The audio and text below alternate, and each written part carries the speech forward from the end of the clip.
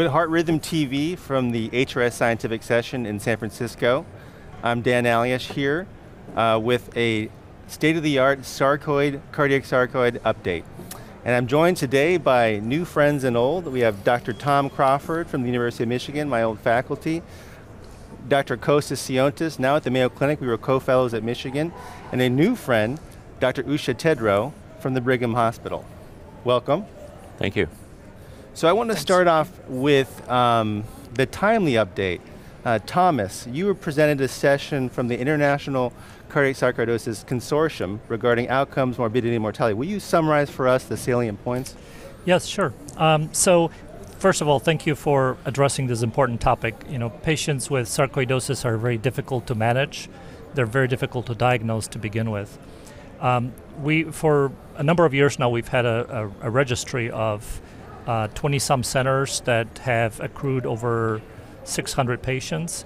And so over the years, we've been able to report on various things like, uh, you know, predictors of appropriate uh, ICD discharges or um, predict or basically the role of MRI in risk stratification, and of course VT, which uh, which uh, will be discussed a bit later. But um, I guess to just say what happened uh, today during the oral presentation. So we're we're discussing um, adverse cardiac outcomes in patients with sarcoidosis after the diagnosis. Diagnosis is oftentimes delayed, um, but the we basically uh, took a composite uh, endpoints of uh, death, heart transplantation, LVAD, or appropriate ICD therapy, and a third of our patients were actually um, ex- experiencing one of those uh, or more. Um, and the most notable predictors of bad outcomes were um, prior VT or VF uh, and uh, New York Heart Association class, as well as prior use of antiarrhythmic drugs. So these are antiarrhythmic drugs that were used either for VT or atrial fibrillation before patient was actually diagnosed. Surprisingly, um, complete heart block was not a predictor of, of worse outcome. Great. Well, that's a wonderful summary. You know, observational data suggests that you know cardiac sarcoidosis is a lot less rare than we realize, and we should actually up our index of suspicion. So I'm going to I'm to turn to my co-fellow here, Kostas. Um, you used this database to publish a very interesting study in JAMA Cardiology last fall yeah. Uh, with regards to VT ablation and actually even in patients with some active inflammation. So will you comment yeah. a little bit about what you learned? Yeah, so we, we found that more than 50% of the patients that we analyzed, it was a study of 160 or so patients uh, from centers from around the world, um, US, Asia, Europe. And more than 50% of those patients had a VT recurrence after ablation. You know, at a first glance, this is, this is worrisome, it's, it's concerning, we are disappointed to see it. Yeah. Uh, but when you look a little further, actually, a lot of those patients were able to come off antiarrhythmics the ICD shocks came down significantly. VT storm was eliminated in 80% of those patients who had VT storm before ablation. Mm-hmm. So, so as a, as a result, you know, we, we, are, we were positive in saying that VT ablation has value in managing um, uh, these patients, uh, the complicated patients, as Thomas mentioned. You mentioned inflammation. I think it was a very important variable uh, yeah. in our analysis. Uh, we had data for a little more than 75% of those patients who had PET scanning uh, just before ablation. And inflammation is an adverse predictor of outcome, both for the ablation outcome but also for the long-term outcome. But even if those patients had inflammation and VT storm, outcomes were improved from the standpoint of reducing ICD really? shocks, um, being able to come off antiarrhythmics. But again, sarcoidosis is a condition that you can ablate all you want, but if the inflammation is there, it's primarily an inflammatory condition, so that has to be under control. It's, it's a disease that you have to manage with your rheumatologist, with your heart failure specialist, um, to optimize patient outcome uh, in the end of the day. The other thing I will mention is yeah. that you know there's a delay from presentation to diagnosis, but also a delay from diagnosis of VT or presentation of VT to ablation. Mm-hmm. In this series, in expert centers, the t- time from presentation with VT to first ablation was more than a year.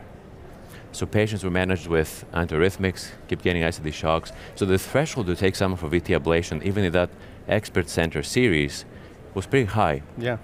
I do think that the message here is that that threshold should probably come down a little bit.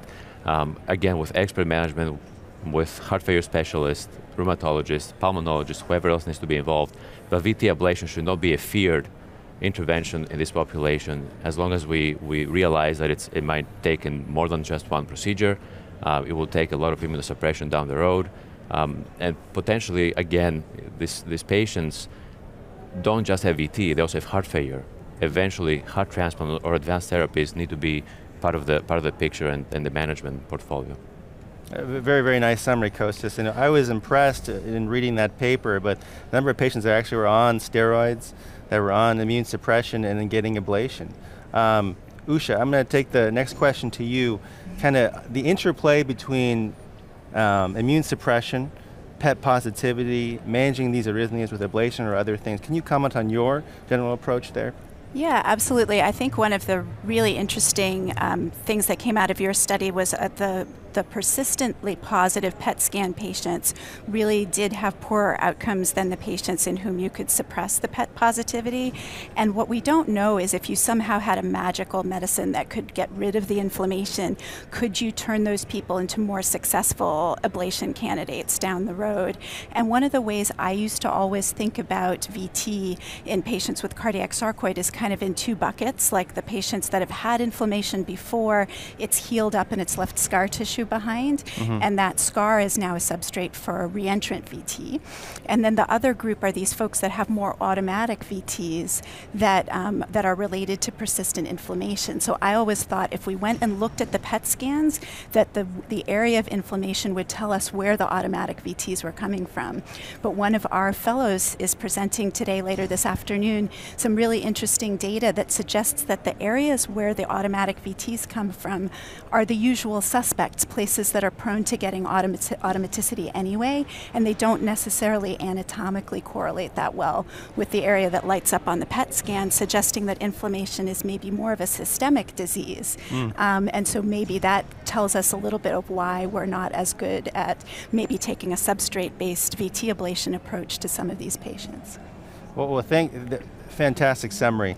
So I'd like to take it to a, a final question which is a challenging question, I think, in clinical practice, which is risk stratification prior to uh, device implantation. So would, it, would any of you be willing to share your approach and, and, and, so we can get a sense for how, we, how people are doing this? Yeah, I can take a shot at this. It's a yeah. challenge. Um, I, I do struggle a lot with a patient who has ectopy, not sustained VT necessarily, that's a simple, simple yeah. decision, but has ventricular ectopy, perhaps a little more complex than just simple PVCs has inflammation, ejection fraction is borderline, maybe not mm-hmm. 35%, there's no pacing indication. That's really the patient where we struggle a lot.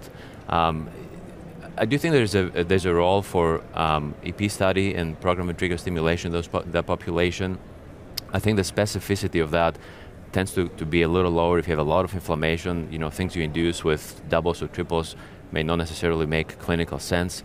Um, I think it's an area of investigation. We're looking at our own experience to see how these people do long term, uh, the fit profile mm-hmm. with inflammation and borderline ejection fraction. My overall sense is that in a patient who's not terribly young and has known sarcoidosis with inflammation that may not be immediately amenable to suppression with, with steroids or other advanced biologics, I don't think that anyone will be at fault for doing the safe thing and putting a defibrillator in. Yeah. Um, if, if, if in a really gray zone and a, and a lot of doubt, I would err on the side of putting a defibrillator in. But again, this is a little more of a personal approach of doing this. I, if I wonder I can how jump you guys in here, so we, yeah. we, you know, we've looked at um, the role of MRI in uh, and, and late gadolinium enhancement in predicting outcomes, uh, especially ICD therapies. And so one of the projects we did was to look at patients with preserved ejection fraction, because mm-hmm. you know mm. those whose ejection fraction is less than 35% fall under different broader mm-hmm. uh, guideline um, driven um, recommendations. But uh, what we found is that uh, the presence of delayed enhancement, the extent of it, and especially the right ventricular delayed enhancement were strong predictors of, um, of subsequent um, ICD therapies. Yeah, I would just add one other thing is that the group in whom I'm a bit more aggressive is the people who have known extracardiac Hmm. sarcoid, because we know that they at some point have have a significant risk. Maybe 10%, 30, 20% of them will develop cardiac sarcoid down the road, and we don't know how often to screen them. We don't really know. Um, w- We don't know how to work them up appropriately. So I use a lot of loop recorders in that group if I'm not sure. Yeah. But if they have some definitive um, evidence on imaging of cardiac involvement, I'm pretty aggressive with that Right. group. There, there was a very nice study uh, published out of Duke in uh, about 2008 or so by Dr. Patel, Manish Patel, who um, who essentially showed that when patients are scanned for non-clinical reasons, you know, basically they had uh, a research scanner and they were scanning sarcoid patients, they found that the presence of delayed enhancement uh, was a better uh, predictor of whether a patient actually fits the uh, criteria, the, the Japanese criteria for the diagnosis, and of course, the delayed enhancement also played a pivotal role in risk stratification between patients who are going to need a pacemaker, an ICD, or who are going to die. No, I I think it's a very, a very good point. A good quality MRI, understanding the LG helps you with that risk stratification. Uh, and what about the adage of I'm putting a device in somebody, it's going to be a defibrillator? Are people on board with that, or? Yeah, I think if there's a pacing indication, to me that, that is a high-risk patient. The reason they get complete heart block is because they have a lot of substrate, and I think the patient should get a defibrillator. I I would also make one other point uh, before we close in, in that diagnosis and making sure you have tissue evidence that this is sarcoidosis is very important. If there's extracardiac sarcoidosis and imaging evidence from a PET scan or an MRI, I think that's, that's pretty clear and clean. But if, if we're talking about the presumed isolated cardiac sarcoidosis where the, the heart is the only organ uh, involved, we do make an effort to always verify that with, tissue. with, bi- with a biopsy, either EP guided or conventional, a little more EP guided um, in latest years. The reason being that not everything that lights up on the PET scan is sarcoidosis. And we, with genetic testing now, we recognize that more and more. There's non-ischemic cardiomyopathies that can make a, a PET scan uh, be positive. Um, that we really should not be immunosuppressing these patients. They should be on aggressive heart failure regimen, but not, uh, you know, potentially dangerous immunosuppression. I think Usha brought up a point of confusion around you know certain uh, stages of ARVC and PET Yeah, positivity. yeah. Yeah, that's right. I feel like years ago we used to be on, in this situation where people gave uh, folks the diagnosis of ARVC and they turned out to have sarcoid when we did the biopsy. But now it feels like it's coming full circle because there's some great work from one of my colleagues at the Brigham, Neil Lakdawala, who's looked at um, the DSP variant patients um, with h- presumed ARVC type of phenotype, and a lot of those folks go through an inflammatory phase where they have a lot of automatic arrhythmias. So and it's that's very exactly similar. what I was referring to. Yeah. Exactly right. Yeah. So now that we've gone full circle, I, um, I'd like to close and, and thank all the discussants. This has been the HRS um, state-of-the-art update for cardiac sarcoidosis, and thank you for joining us.